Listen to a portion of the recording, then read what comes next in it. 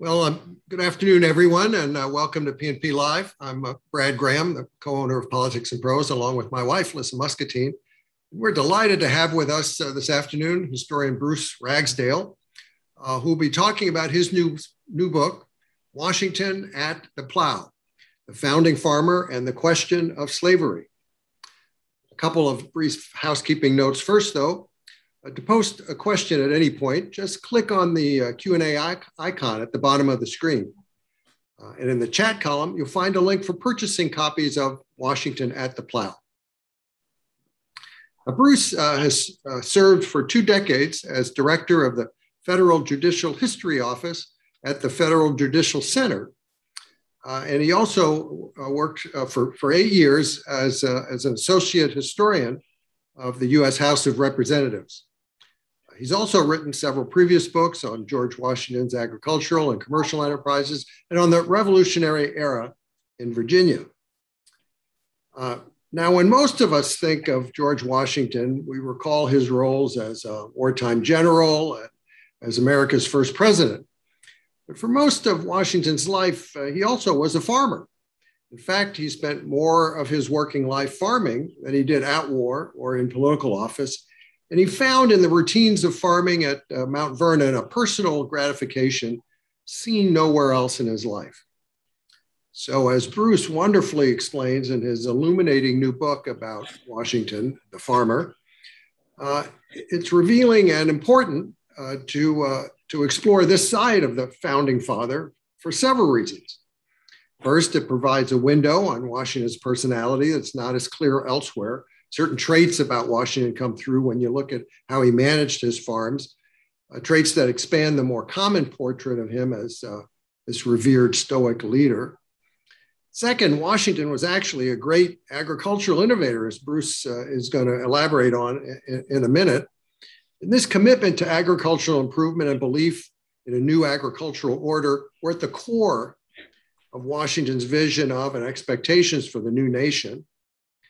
And third, the evolution of Washington's thinking about slavery was tied to his attempts to make the enslaved workforce at Mount Vernon more productive. These efforts eventually led Washington to become disillusioned with forced labor, which helps explain his decision to include in his will a provision to free his slaves after his death.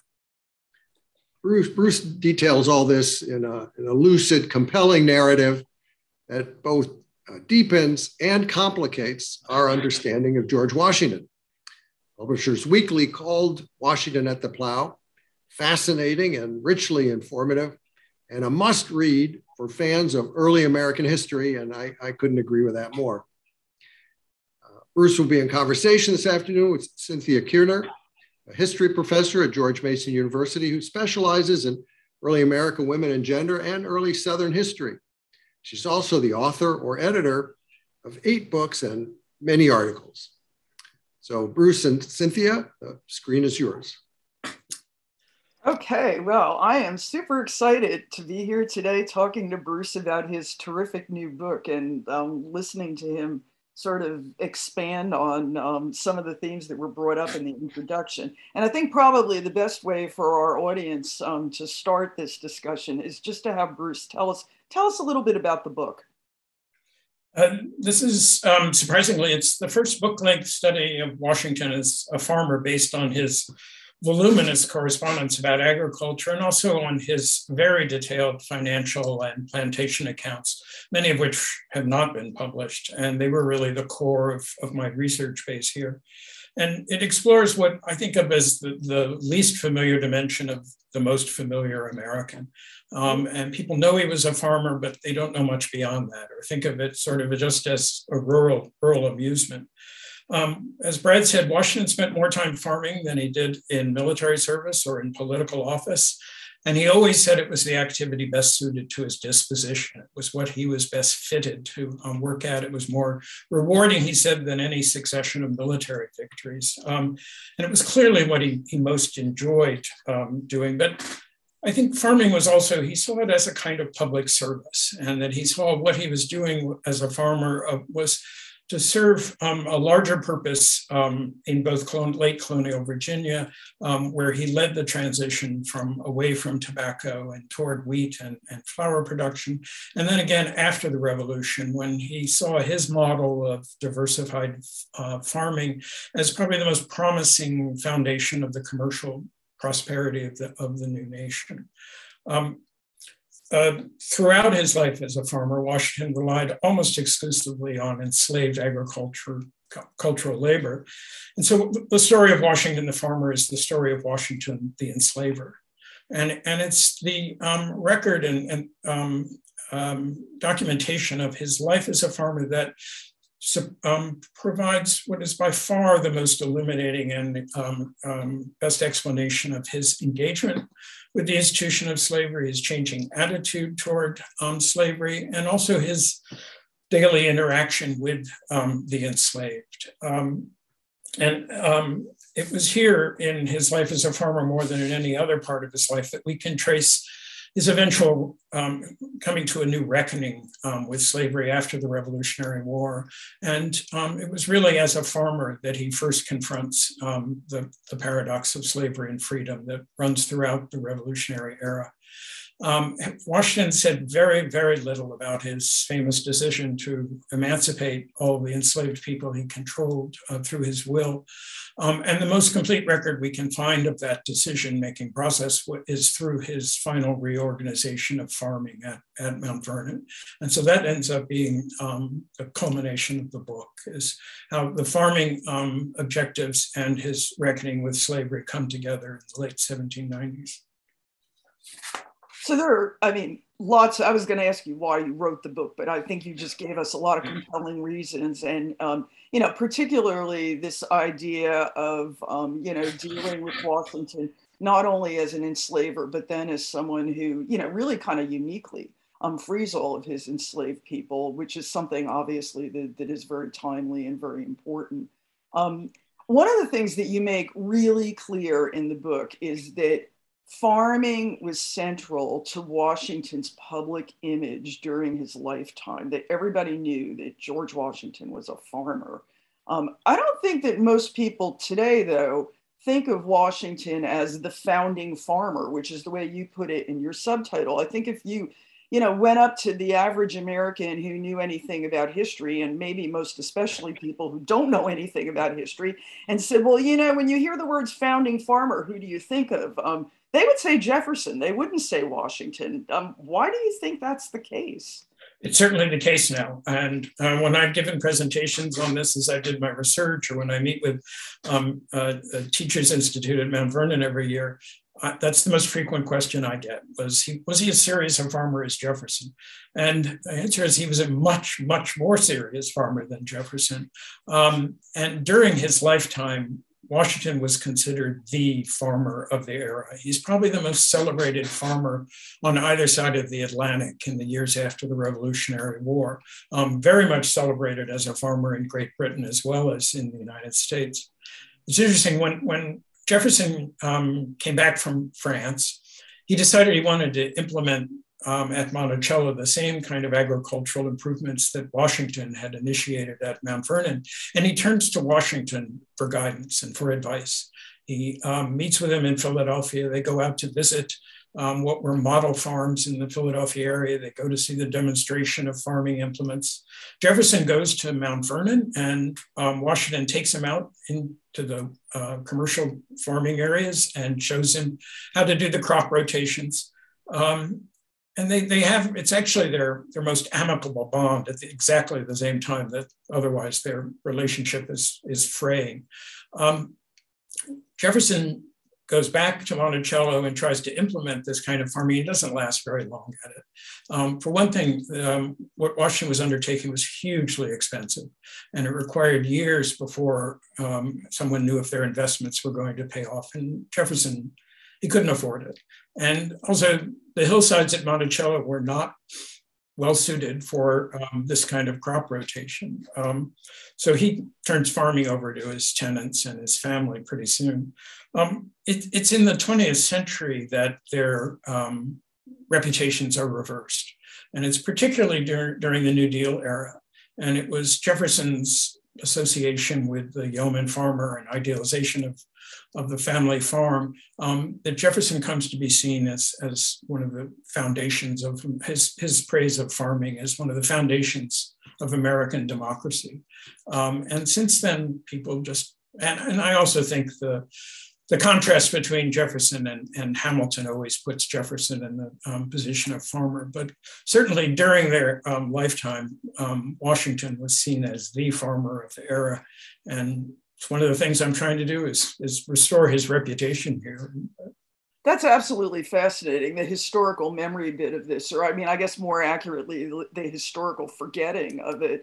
Um, part of it probably is also that there are so many other kind of concrete big things that Washington is remembered for. I mean, he's the general in the revolution. He's the guy they surrendered to at Yorktown. He is the first president, and even people who don't really care much or understand much about the politics of the early republic know that being a first is a big deal. And it seems like all of that is kind of overshadowed um, this obviously very important part um, of Washington's life, not only from his perspective of what he thought of himself, but what other people thought of him as well.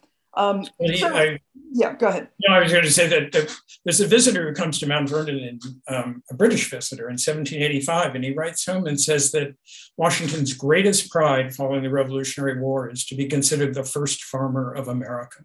And it's one of the things I was setting out to do is why would this accolade be so important to this man who had just um, secured the independence of the United States. And was just, it's like one of those Super Bowl commercials, right? It's, we just won the Super Bowl. Now I'm going to Disney World. I was just the president. I just beat George III, but now I'm going to go be a farmer. It's that, that that's totally awesome. Um, all right, so I mean,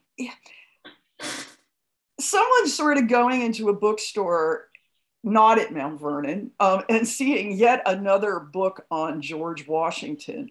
Um, Washington is obviously an incredibly well known historical figure. There have been tons of biographies written about him. Um, he is the subject of other kinds of historical writing as well.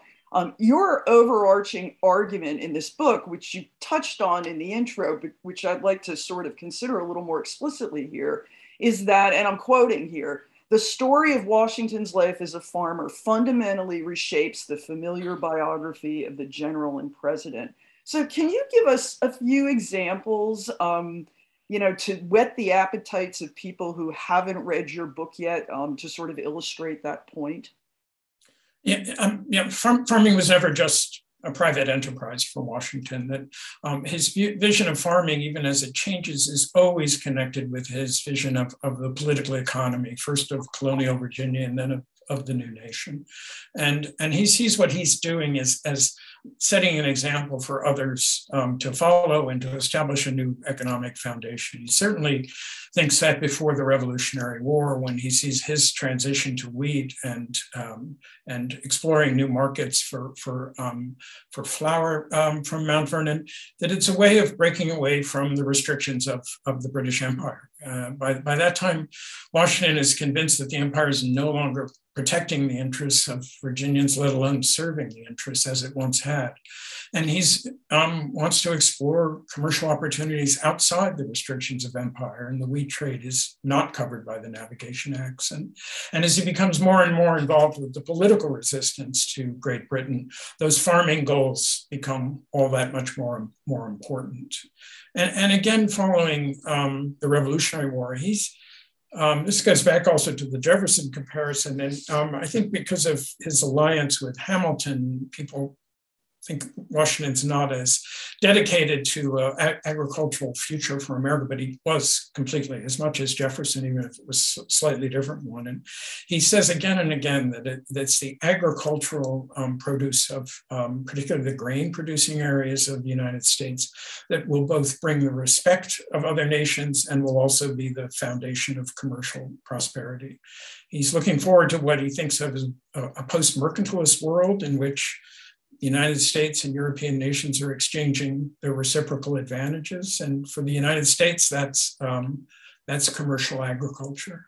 Um, so it fits with those larger goals. He also, um, he, he's extremely interested in a way that's not typical of the United States, although it was of Great Britain at the time. He's very, very interested in stewardship of the soil, or restoration of the fertility.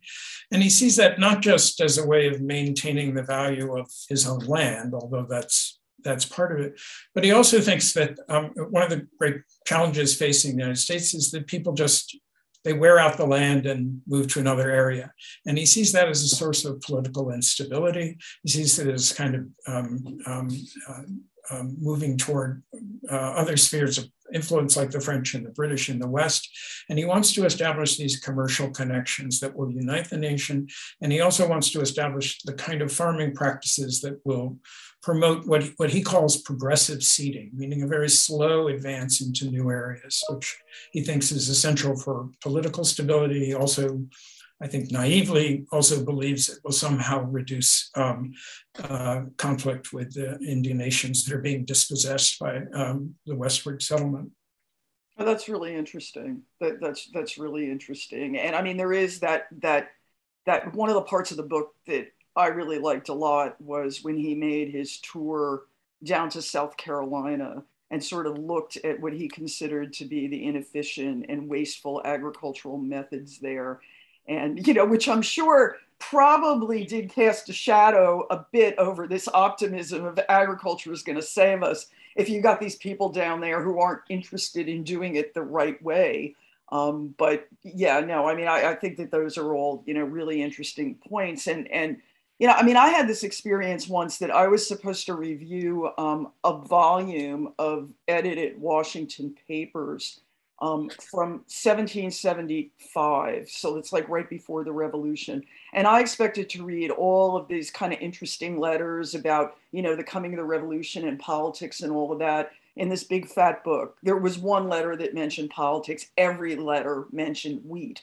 But I mean, one of the things that your book does is to say, to tell us that you know, George Washington's preoccupation with wheat was not necessarily a political, but in fact was very much tied to um, the things that people were thinking in terms of the politics of the British Empire and how they weren't really working for um, a lot of Americans um, anymore. One of the other things that I found really surprising um, and interesting in the book is, um, well, I mean, I've read a fair amount about Washington, and most historians and biographers depict him as a man of action you know, he's the tall guy on the horse, you know, leading troops into battle or fox hunting or, you know, whatever. Um, they don't really depict Washington very much as a man of ideas. Um, but your Washington was someone who read a lot and who thought really deeply um, about a lot of issues, most notably um, agricultural methods and their larger implications. And in fact, he was a card carrying member of this transatlantic network of people who exchanged information and ideas about farming all the time. So, can you tell us a bit about that network? Who was in it? And how did Washington, sitting in you know remote Northern Virginia, make those connections and foster them over such a long period? Um, from the time he comes back to Mount Vernon to, to manage it full time, right after he marries um, Martha Custis in 1759, one of the first things he does is he writes his um, London tobacco merchants and asks for a list of agricultural books. And they are all books that have nothing to do with tobacco. They have to do with this revolution in agriculture in mid century, mid 18th century Great Britain. Somehow Washington already knows about this movement. And he puts together what is one of the most advanced libraries on, of practical agricultural treatises. And so his initial engagement with this kind of farming is mostly through books. But these books, they do introduce him to what's called the new husbandry. It's, a, it's new style of farming that tries to um, make make a much more intensive agriculture to keep um, the soil restored to the, um, uh, and it, it brought about about a 50% increase in grain production in Great Britain. But it also is a whole world of these self defined gentleman farmers that Washington is very, very attracted to. And these practical treatises are all written by or talk about this culture of farmers who, um, they're gentlemen farmers, but they're actively involved in the day to day work of farming. They also um, are part of a community of exchanging information and uh, belonging to agricultural societies, of promoting these kinds of publication. And the, the the story of these people really resonates with, with Washington, and it puts him in a new role as a Virginia planter. It gives him a new role as, as setting an example and, and really controlling or at least influencing the direction of, of agricultural um, development in um, uh, um, Virginia. After the Revolutionary War, he is personally participating in these communications. And he develops these um, really fascinating correspondences with some of the most important agricultural leaders in Great Britain. The most notable were um, Arthur Young, who was the editor of a very influential journal called the Annals of Agriculture. And the other one um, is men, Sir John Sinclair, who was the founding president of the British Board of Agriculture. And there's still an exchange of practical information, and Washington relies on them for seeds and plow designs and, and books. But he also engages these people in, in a conversation about the political economy of farming in, in what all of them expect to be a post mercantilist world. Sinclair and Young were um, very disturbed by the loss of the American colonies and what this meant for the future of Great Britain. And they see in this correspondence with Washington the opportunity to um, talk more broadly about government, governmental role in agricultural improvement. Um, in fact, Sinclair convinces Washington to um, look for um, to, to, propose a board of agriculture. Um, it doesn't, Madison wants no part of it. Hamilton's less interested, but Washington includes it in his last annual message to Congress. And he's convinced that America will fall behind the kind of improvement he sees in Great Britain if it doesn't also um, provide this kind of governmental um, uh, support for um, for agriculture. And also this group um, they help Washington think about new ways of being connected with the wider world. And I think it's very important to understand that Washington did not turn away from the Atlantic world after independence. Um, he, he sees America's future as deeply engaged. Um, he had hoped it would be more engaged with the French than it turns out to be, um, but certainly with the British. And, and it's as much a cultural connection as anything else. He sees this as a natural um, partnership for sharing information that will rebound to the commercial benefit of both Great Britain and the United States. Yeah, so like you mentioned, the new husbandry, and for people who are listening, that's with a capital N and a capital H. I mean, it, it, it's a thing. Um, and it's a movement that starts in the early to mid 18th century in Great Britain. And as Bruce said, you know, Washington gets involved in it in the 1750s and 1760s. And then, of course, in the 1770s, the revolution happens. Um, now, you know, a lot of historians have written or have tried to sort of tease out or puzzle out the kind of, you know, ambivalent or ambiguous relate cultural relationship um, between the now independent United States um, and Great Britain during the post-revolutionary period um, you know, I think you've explained really well already how like a guy sitting in Virginia gets interested in the capital N, capital H new husbandry, which is a British import, when he's a loyal subject of the king. Um, but I mean, does the revolution change any of that? Or, or I mean, it clearly doesn't change his um, correspondence with people like Young and Sinclair, but but um, you know, is is he still okay with the Britishness of all of this, or or is he trying to make it into something distinctly American? I mean, what's going on with that? Absolutely not trying to make it something distinctly American. He um, and it's not so much a provincial insecurity. He really sees that the future is in this collaboration across national boundaries. Um, he's not alone in deferring to, to, to British agricultural experts. Um, it, on the European continent, people consult these same books.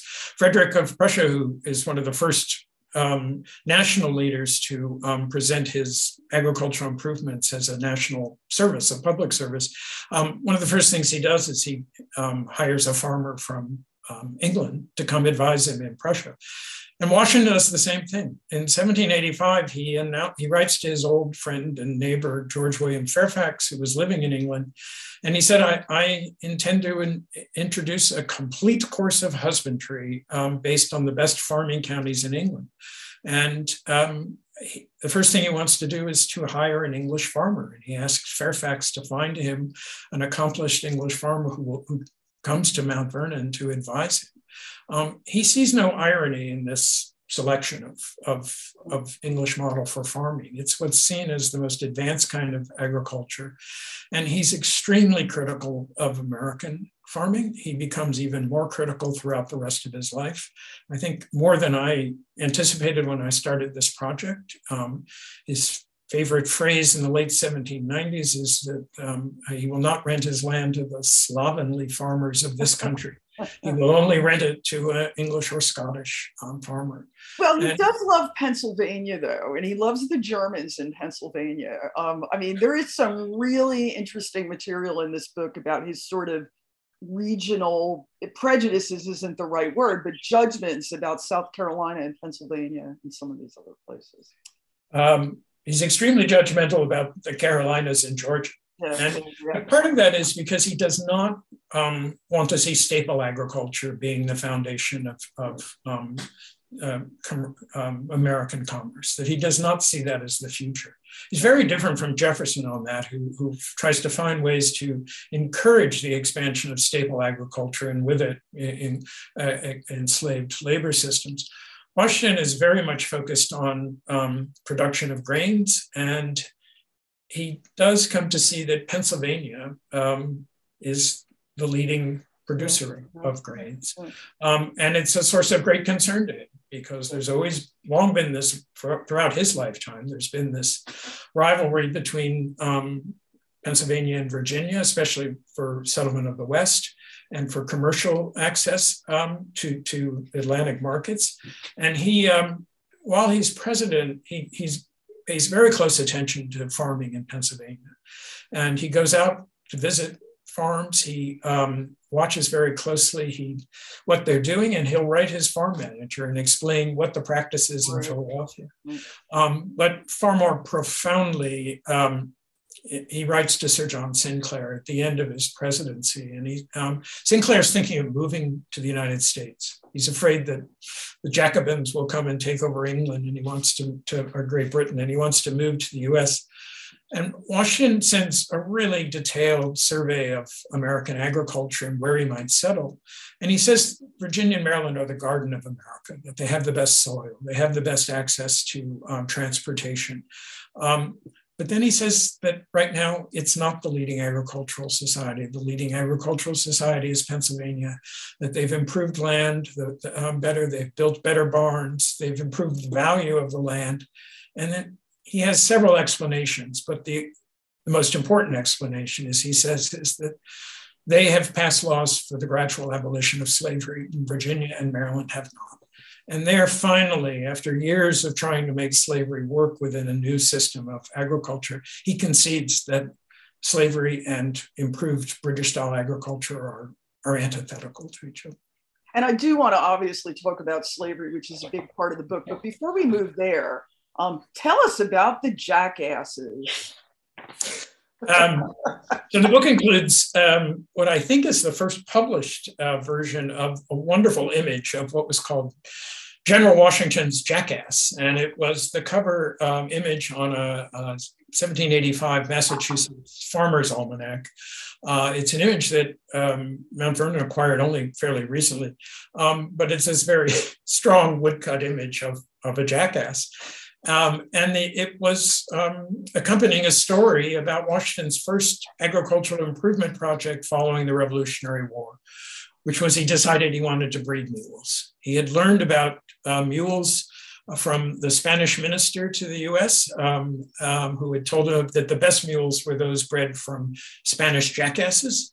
And um, but Spanish jackasses were prohibited from export. And so Washington sends feelers out to merchants, to, to Lafayette, to a number of people. And eventually the King of Spain learns about this. And he's so pleased of Washington's interest that he orders that two of the best um, specimens of the animals be shipped to Washington as a present, as a gift. And Washington, only one of them survived the journey, but Washington named the jackass Royal Gift. And he becomes a kind of celebrity in his own right. yeah. Uh, um, there's that image in the in the almanac, and his progress from Massachusetts to where he landed to Mount Vernon is covered by the newspapers. Um, and then people come from all over bringing their mares to breed with um, uh, royal gift. Uh, he also, Washington also receives another jackass and two jennies from uh, female asses from Lafayette. So he's able to produce his own breeding stock. And the whole story is very entertaining and it's humorous. And Washington is absolutely befuddled when Royal Gift was unable to perform for the first few months he was there. um, but he gets that straightened out. And um, by the end of his life, he has more mules uh, working as draft animals at all of his farms than he does horses or oxen combined. Um, but it's a, it's an interesting story beyond the entertaining side because it, it was the first indication of what kind of just global support um, Washington would find for his agricultural improvement projects. That all these highest diplomatic circles in Europe are trying to help him out on this.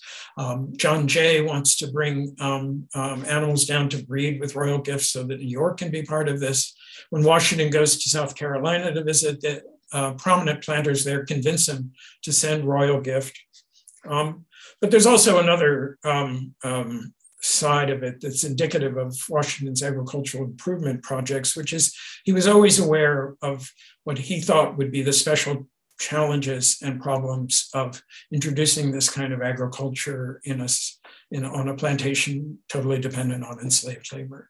And only to Lafayette does he acknowledge that his real interest in finding mules and in bringing more mules to Virginia is that he thinks they will withstand what he considers the careless treatment of um, enslaved laborers were, and draft animals. And they were supposed to be stronger and cheaper to maintain too, right? They're much cheaper to maintain. They live longer, but also he somehow thought they um, but it can show you he goes into this aware that, um, or at least he's assuming there will be challenges um, trying to introduce this kind of uh, agriculture on the state that's, that he's determined will also be so completely reliant on enslaved labor. There's an enormous amount of agricultural information conveyed in, I think, a very interesting and accessible way in this book. Um, I'm not a farmer. I'm not even a very good gardener, but I feel like I learned a lot, and and and it was it was a really good read. All right, let's pivot um, and turn to um, the issue of slavery and slave labor and abolitionism, and then ultimately Washington's will, which was really quite a remarkable document that we sort of me- mentioned already without really going into a lot of detail about.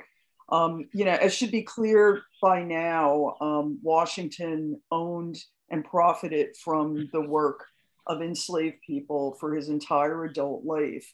Um, but one of the things that you can see in Bruce's book is that his use of enslaved workers and his attitudes toward Black people um, changed over the course of his life. Um, could you talk a bit about that? Um, I mean, yes, you're, you're, you're right that um, Washington's, um, for Washington's whole lifetime, um, his engagement with farming was inseparable from his reliance on enslaved labor. He inherits the first enslaved laborers when he's 11 um, from when his father dies. His earliest memories of farming would have been um, watching first his father and then his mother direct the work of enslaved field laborers. Um, but also from the time he um, takes over Mount, or assumes full-time management of Mount Vernon in 1759, um, he's trying to adapt enslaved labor to new kinds of farming. He's trying to invest new value in his investment in um, enslaved laborers. He um, has enslaved laborers working with him from the first time he's developing new plows and planting new kinds of grasses. Um, when he transitions from tobacco to wheat, it in no way lessens his um, demand for um, the work of enslaved laborers. In fact, he continues to buy more, um, and he will continue to buy more enslaved laborers up until um, the Revolutionary War. Something does change dramatically during the revolution. There's no questions. No one, no, no one um, could um, experience the period of the American Revolution, particularly uh, in Washington's position, without un- understanding how the revolution changed um, everything about slavery and um, the lives of, of enslaved people. He was certainly well aware of, of just how many enslaved um, Blacks um, used the opportunities in, uh, of, of the war to um, fight against their own bondage and to try and find permanent freedom and refuge with, with the British, um, including um, a number of enslaved people from Mount Vernon. Um, but, and also during the Revolutionary War, Washington is exposed for the first time to a new anti-slavery movement. Uh, and it's an anti-slavery movement that um, some of the most articulate advocates are friends of his, um, most notably Lafayette.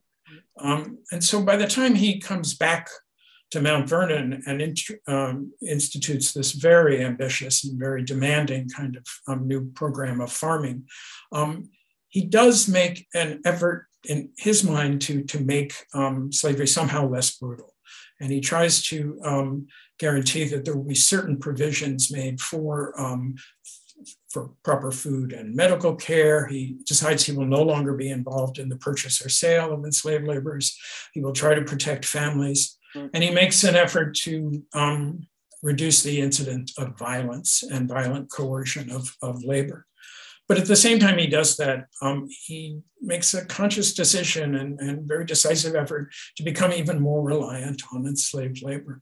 He, um, he replaces several of his white overseers with enslaved overseers. He tries to replace many of the hired white artisans with um, enslaved carpenters or bricklayers.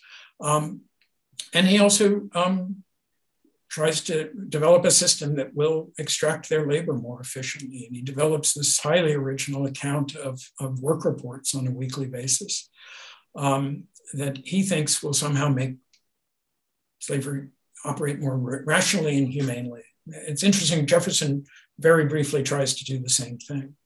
Um, and it's his eventual disillusionment with that attempt um, is what I think then leads to his decision to um, find some way to move away from um, reliance on enslavement in some way to free the enslaved people that he controlled legally.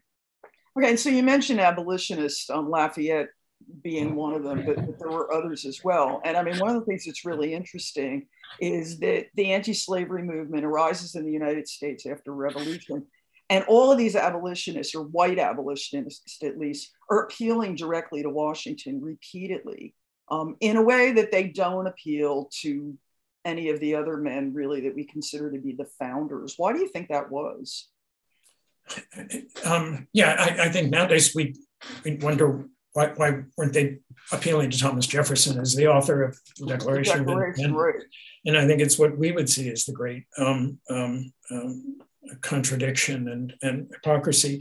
But it was Washington who's the uh, most important and prominent um, target of these abolitionists, many of whom were people who greatly respected him.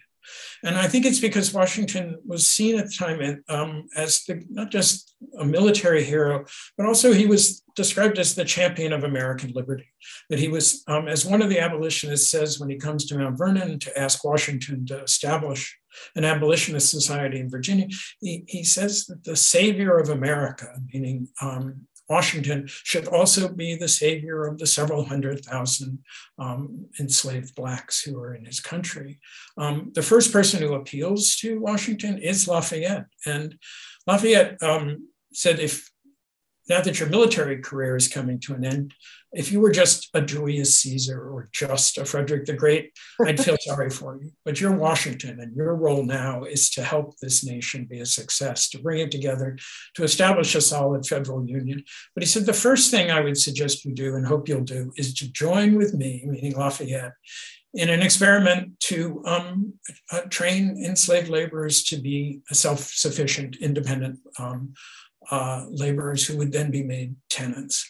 Um, And that's just the first of many appeals. Um, the religious leaders come to Mount Vernon, the Methodist clergy want support for a petition for gradual abolition, uh, Quaker leaders who come to him as president and ask him to support um, restrictions on the, on the slave trade.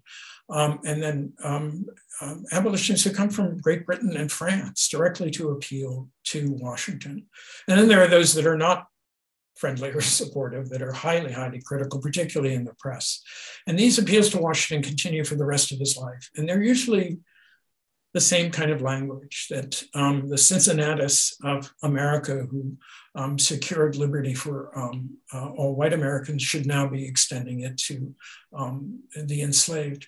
And there's always an assumption that if Washington supports abolition and if Washington emancipates his own enslaved laborers, that somehow it would um, um, convince other people to do the same thing. Which, of course, didn't work out that way, right? Because yeah. he emancipates um, the enslaved people who he owned in his will, and Martha's would later follow.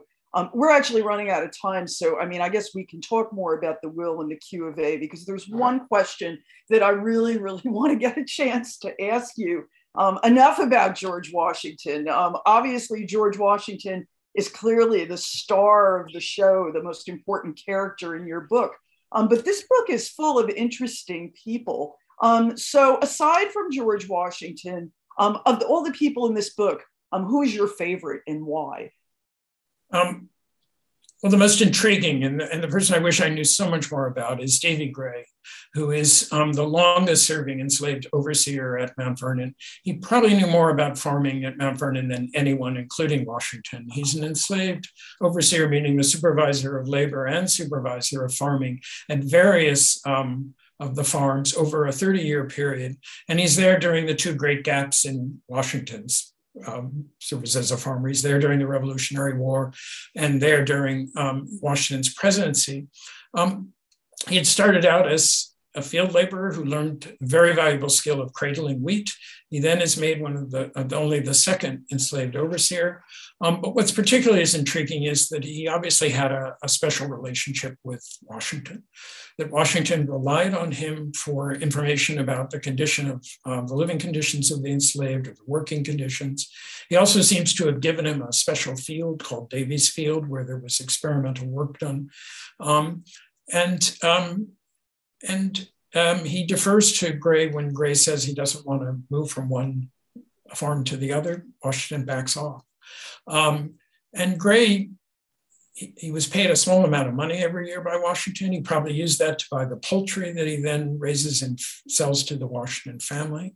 After Washington dies, um, he has enough money to, uh, when, when the uh, farm is sold off or the implements and livestock are sold off, Gray buys a cow um, but he's unable to secure his own freedom. He was one of the so-called dower slaves, and therefore he um, uh, was held by the owned by the Custis estate, and he's um, um sent off to, to live with one of the Custis granddaughters when um, after Martha dies. So.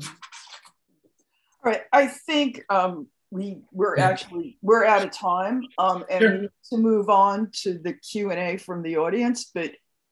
Thank you for that great conversation, Bruce. Um, and I think we do have a few questions um, in the Q and A section, and so I think um, I will start asking some of them. And if people want to sort of piggyback on and add more questions, um, that is fine as well. We've got about 17 minutes, if my math is correct, um, for questions.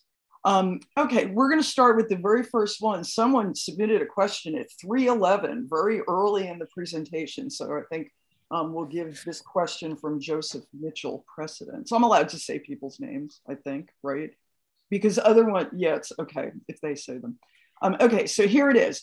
Earlier, you referred to the voluminous body of farming and financial records that Washington held, but specified that many of these records were not published.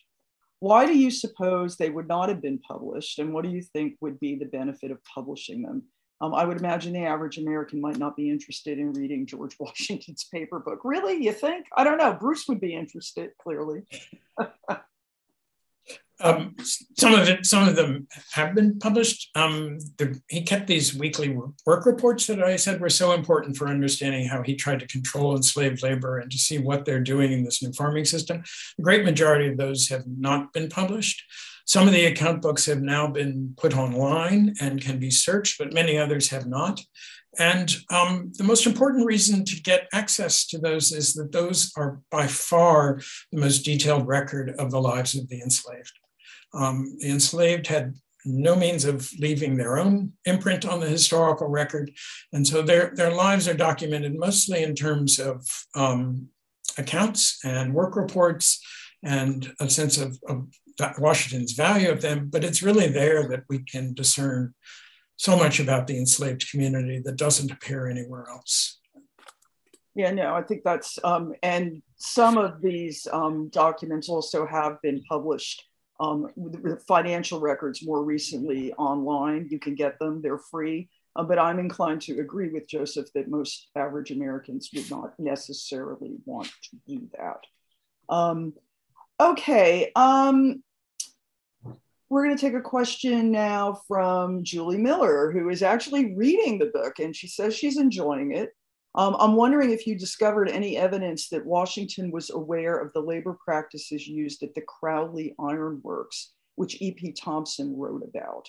Um, the Crowley law books, um, since he dealt, since Washington dealt regular with Theodosia Crowley, who ran the ironworks during Washington's lifetime.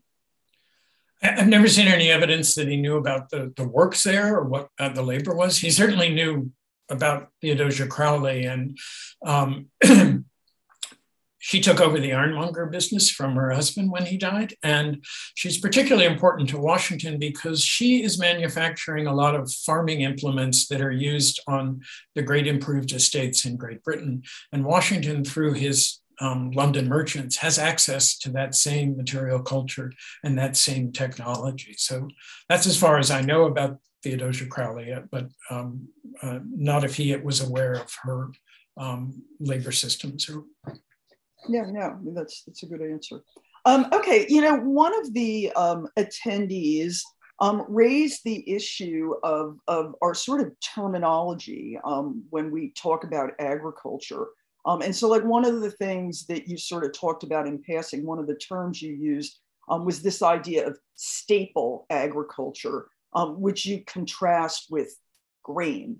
Um, and I mean, I think we know what grain is, but how is it different from? Well, grain is actually a kind of staple agriculture. Kind of staple. But, but for, okay, so talk a bit about, I guess, the agricultural economy of Virginia in particular and, and the way those two things sort of work together. And those staple crops are usually considered the cash crops that are not comestibles. They're um, they're things like tobacco and um, well, sugar could be a, is a staple too. Um, but the, and they're the crops that are usually associated with um, uh, enslaved labor and slavery plantations. Um, Washington people would not have used the term staple to apply to um, mixed grains, small grains. okay. And so, going back to your point about the Navigation Acts, which was the imperial trade regulation system, um, they also pinpointed staple crops, cash crops. For instance, all tobacco had to go to British ports, and that was not true of, of grain, which is one of the sort of big ideas um, about Washington and agriculture and, and his ideas about the benefits of grain over tobacco um, in this particular instance. Um, okay, we have a question from Stephen Mink. Washington had farm properties in various locations, including up the Potomac River, and was involved in land development in the Ohio River Valley. Did his agricultural experimentation extend to these distant properties? And was he trying different things in different places, given their agricultural and economic specifics and circumstances? That's a great question. Yes. Um, there are initially attempts to do that, but Washington pretty quickly, um, around between 1765, 1767, decides to what he says, draw all my forces together at Mount Vernon.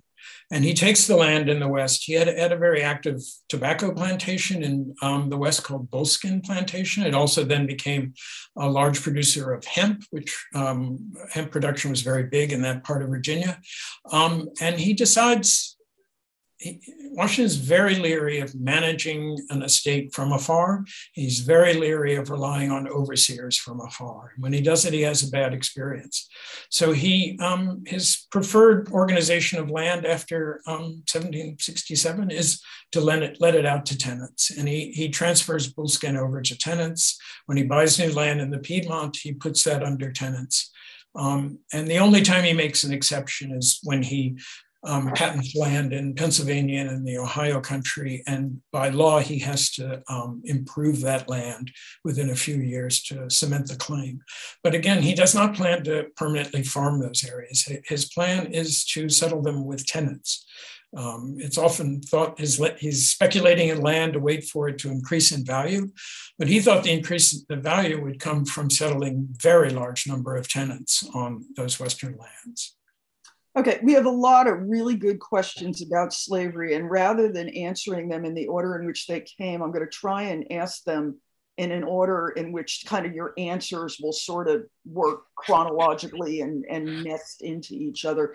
And so, anonymous attendee asked, did the fact that the Continental Army had a significant number of Black soldiers have an effect on Washington's attitude towards slavery?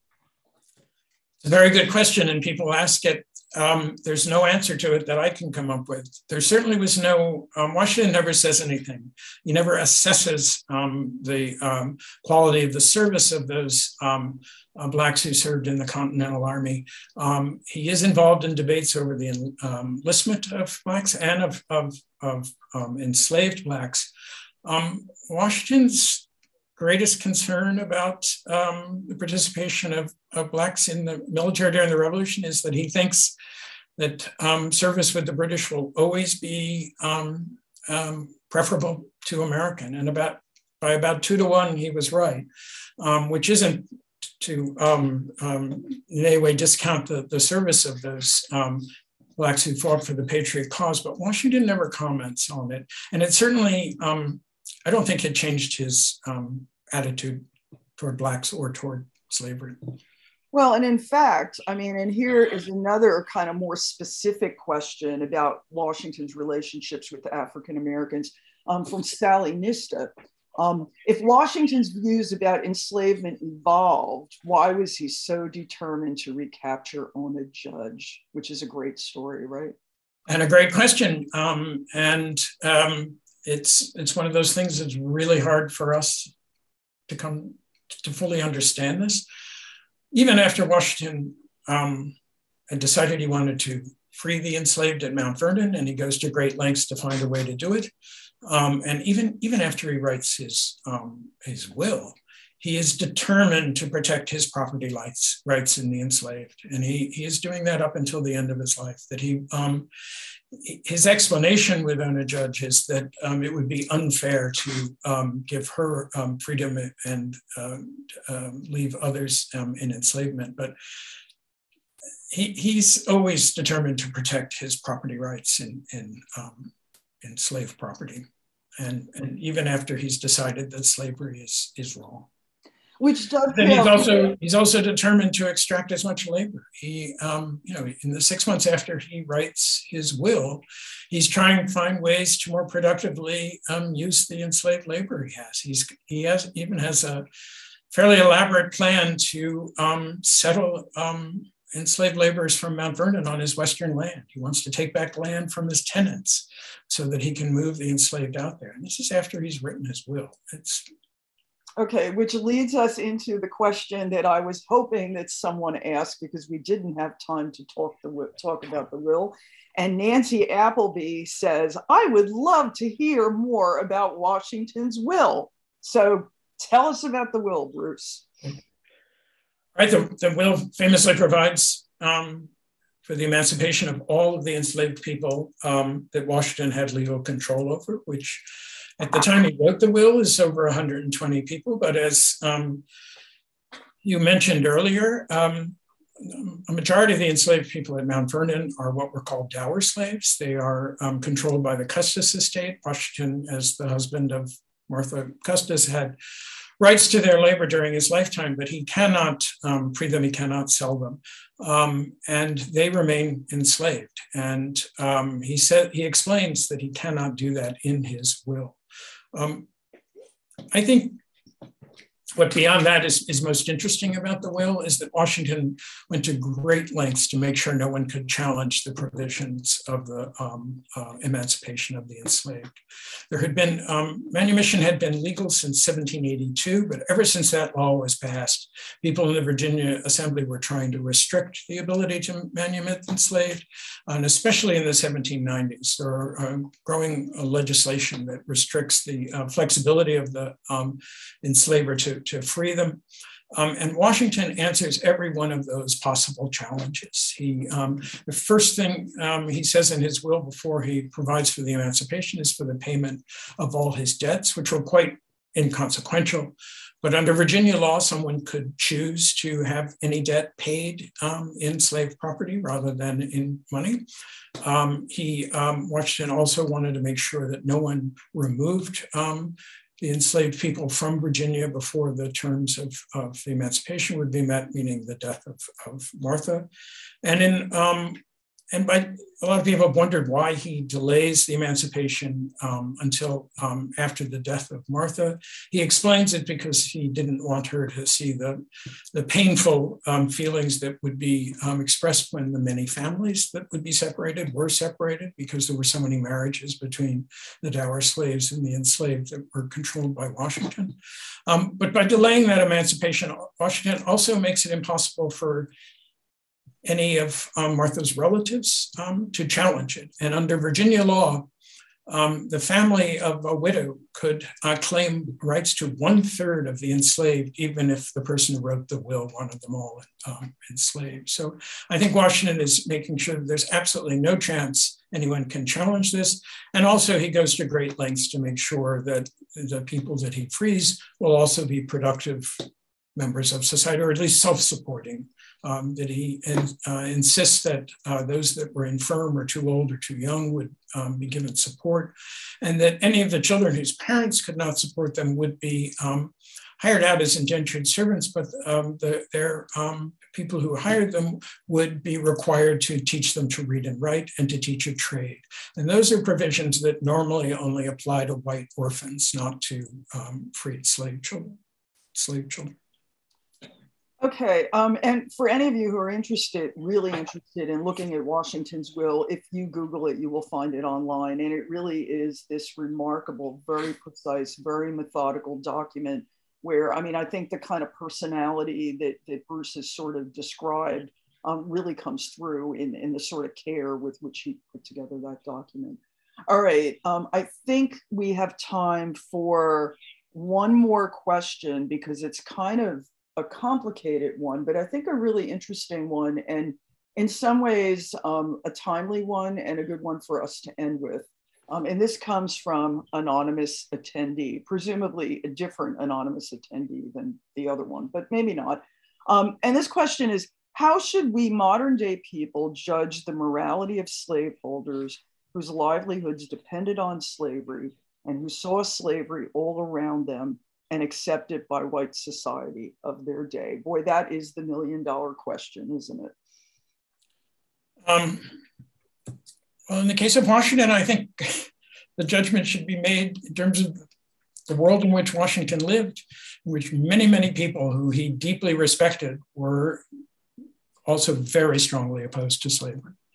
And that for 20 years, Washington is hearing why slavery is wrong, and he's hearing about why it also is um, not just antithetical to the kind of agricultural improvement that he um, um, is pursuing, but also that it's contrary to the principles of the revolution and the principles of liberty that he's so closely associated with. So I think the standards of the time are those of people like Lafayette and Brissot and um, the others who um, called on Washington and who I think Washington ultimately hears. And um, even if he does not want to publicly um, associate himself with, with the abolitionists. He does so just by his action and example. And that Washington always thought, you know, we wish he had said something stronger condemning slavery within his will. But throughout Washington's life, he thinks his actions and his example are how you um, make a point, not by trying to publicly persuade people of something. So um, I think in the end, his example affirmed those who had been calling on him um, to join in this growing movement um, for abolition.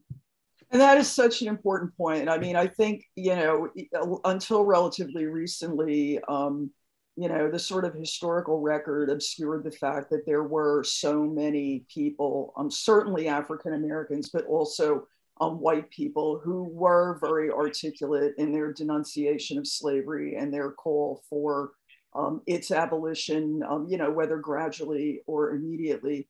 And I think that, you know, there's plenty of good scholarship out there now that, that makes that point.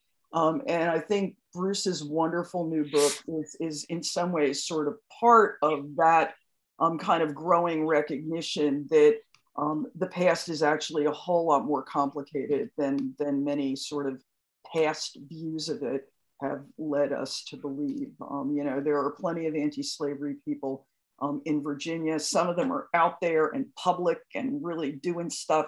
Um, and then I think in a lot of ways, Washington was probably more typical in that he was kind of maybe quietly anti-slavery, um, but he was also really special because he was George Washington and he had so many enslaved people who were affected by his will and by um, you know, with his emancipating them um, on his death in 1799. Um, so I guess that's it. We're actually at 401. Um, that was totally awesome. Um, I guess I'm done. Well, great, great moderating, Cynthia and, and, Bruce. You know, hopefully your your book will succeed in restoring the reputation that Washington had in his uh, his own lifetime as America's most celebrated farmer uh, and, and, and, in any case, I'm sure the book will provide all who read it with a, with a much fuller understanding uh, of Washington, uh, the importance that agriculture had in his life and, and in shaping his vision of America, and particularly the evolution of his views of, of slavery. Uh, to everyone watching, thanks for tuning in. A reminder that in the chat column, you can find a link for purchasing copies of Washington at the Plow from all of us here at Politics and Prose, stay well and well read.